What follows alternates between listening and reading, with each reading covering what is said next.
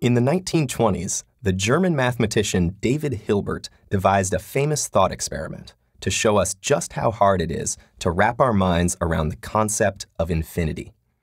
Imagine a hotel with an infinite number of rooms and a very hard-working night manager. One night, the infinite hotel is completely full, totally booked up with an infinite number of guests. A man walks into the hotel and asks for a room. Rather than turn him down, the night manager decides to make room for him. How? Easy. He asks the guest in room number one to move to room two, the guest in room two to move to room three, and so on. Every guest moves from room number n to room number n plus 1. Since there are an infinite number of rooms, there is a new room for each existing guest. This leaves room 1 open for the new customer. The process can be repeated for any finite number of new guests.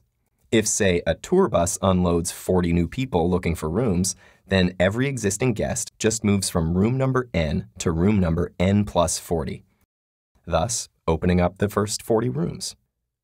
But now, an infinitely large bus with a countably infinite number of passengers pulls up to rent rooms. Countably infinite is the key. Now, the infinite bus of infinite passengers perplexes the night manager at first, but he realizes there's a way to place each new person. He asks the guest in room 1 to move to room 2. He then asks the guest in room 2 to move to room 4, the guest in room 3 to move to room 6, and so on. Each current guest moves from room number n to room number 2n, filling up only the infinite even-numbered rooms. By doing this, he has now emptied all of the infinitely many odd-numbered rooms which are then taken by the people filing off the infinite bus. Everyone's happy, and the hotel's business is booming more than ever. Well, actually, it is booming exactly the same amount as ever, banking an infinite number of dollars a night. Word spreads about this incredible hotel. People pour in from far and wide. One night, the unthinkable happens. The night manager looks outside and sees an infinite line of infinitely large buses, each with a countably infinite number of passengers. What can he do? If he cannot find rooms for them, the hotel will lose out on an infinite amount of money, and he will surely lose his job. Luckily, he remembers that around the year 300 BCE, Euclid proved that there is an infinite quantity of prime numbers. So to accomplish this seemingly impossible task of finding infinite beds for infinite buses of infinite weary travelers, the night manager assigns every current guest to the first prime number, 2, raised to the power of their current room number. So the current occupant of room number 7 goes to room number 2 to the 7th power, which is room 128. The night manager then takes the people on the first of the infinite buses and assigns them to the room number of the next prime, 3, raised to the power of their seat number on the bus.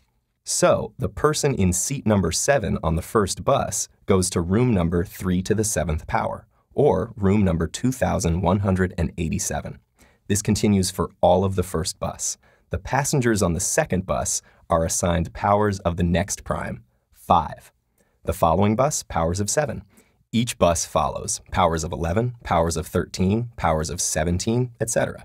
Since each of these numbers only has 1 and the natural number powers of their prime number base as factors, there are no overlapping room numbers. All the bus's passengers fan out into rooms using unique room assignment schemes based on unique prime numbers. In this way, the night manager can accommodate every passenger on every bus, although there will be many rooms that go unfilled, like room 6, since 6 is not a power of any prime number. Luckily, his bosses weren't very good in math, so his job is safe.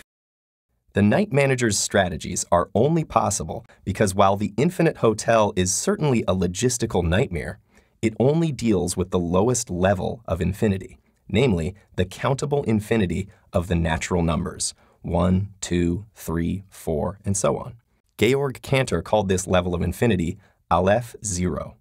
We use natural numbers for the room numbers as well as the seat numbers on the buses, if we were dealing with higher orders of infinity, such as that of the real numbers, these structured strategies would no longer be possible, as we have no way to systematically include every number.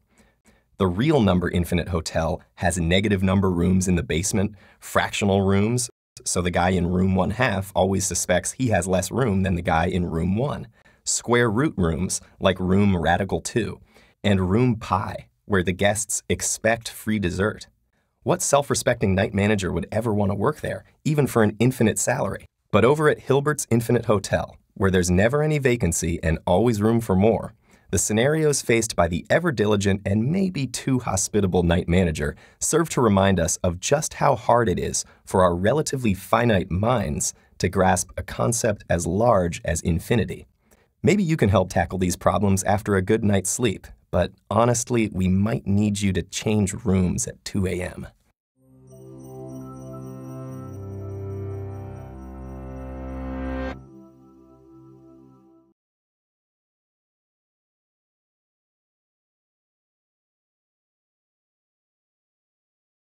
and he will surely lose his job.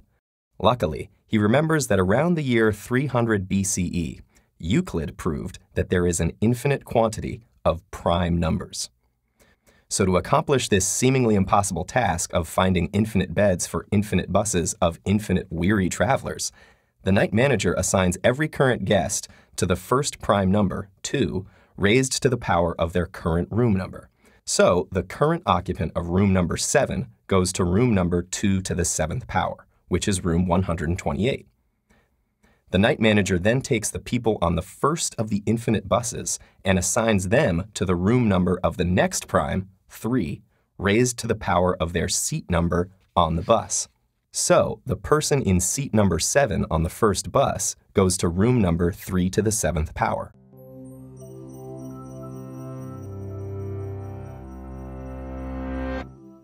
In the 1920s, the German mathematician David Hilbert devised a famous thought experiment to show us just how hard it is to wrap our minds around the concept of infinity. Imagine a hotel with an infinite number of rooms and a very hard-working night manager. One night, the infinite hotel is completely full, totally booked up with an infinite number of guests. A man walks into the hotel and asks for a room. Rather than turn him down, the night manager decides to make room for him. How? Easy. He asks the guest in room number one to move to room two, the guest in room two to move to room three, and so on. Every guest moves from room number n to room number n plus one. Since there are an infinite number of rooms, there is a new room for each existing guest. This leaves room one open for the new customer.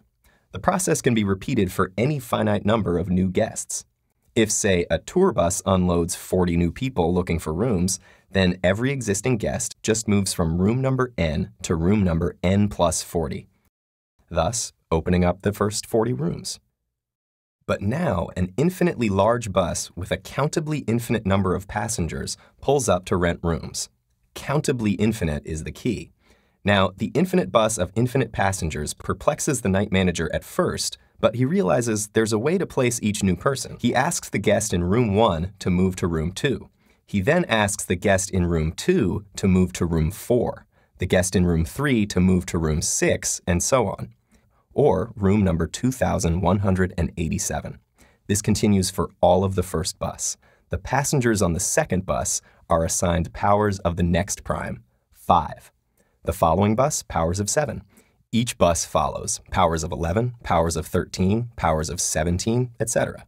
Since each of these numbers only has one and the natural number powers of their prime number base as factors, there are no overlapping room numbers.